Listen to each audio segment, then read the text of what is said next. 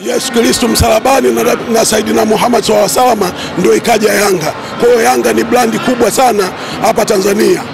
Cha kwanza tunamshukuru Mungu tumeshi, tumepata alama tatu kupitia dabi tuliocheza leo e, na safu iliyoongozwa na Juma Shabani ya ulinzi na golkipa wake imetuletea matunda na goli ifungwa na Samson Ma, Maele ni goli international, huwezi kulikataa. Namshukuru mwamuzi ameenda kwa sheria kumi na saba na refari bwana Komba laini wani tayari walichezesha mpira kwa sheria kumi na saba tumeshinda. Okay, naona unafuka jasho. Nini hasa ambacho kimetokea? Tumeona kule purukushani zilikuwa nyingi. Haji Manala anataka kwenda uwanjani, lakini walinzi wanamkataza. Nini hasa ambacho kimetokea kama umekishuhudia? Ah, sawa, walinzi walikuwa sawa kiusalama ki kiusalama walikuwa sahihi, Walikuwa sahihi. ila bado si washabiki wa Tanzania hatuna uelewe wa sheria za mpira uwanjani na kanuni, hilo tatizo. Ndio mmefungua ligi ingawa hisani wanavaa medali.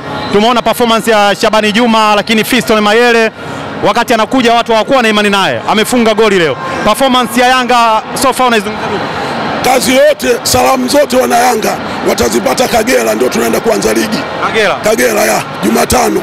Naomba wapenzi wa Yanga wote wakanda atemeke ya Temeke, Ilala, Kinondoni waingie kwenye magari twende uwanja wa Kaitaba, Bukoba tukachukue alama tatu. Msimu huu weka tuweke.